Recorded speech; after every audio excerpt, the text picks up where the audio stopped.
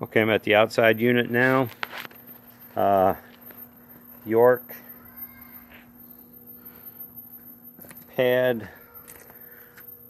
Looks like it's propped up with rocks or something, so we'll need some dirt to level the pad. Yeah, I think uh, bring two or three bags of dirt to get the new pad level.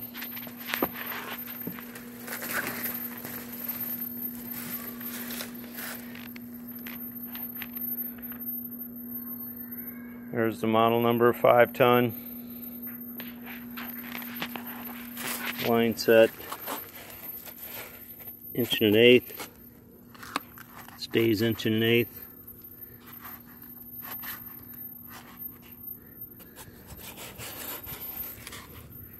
Uh, that could be soft solder on that.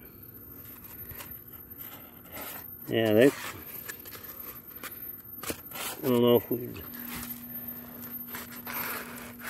want to do that or not as far as flushing this. I think we'll stay with the, uh, maybe run a new line set.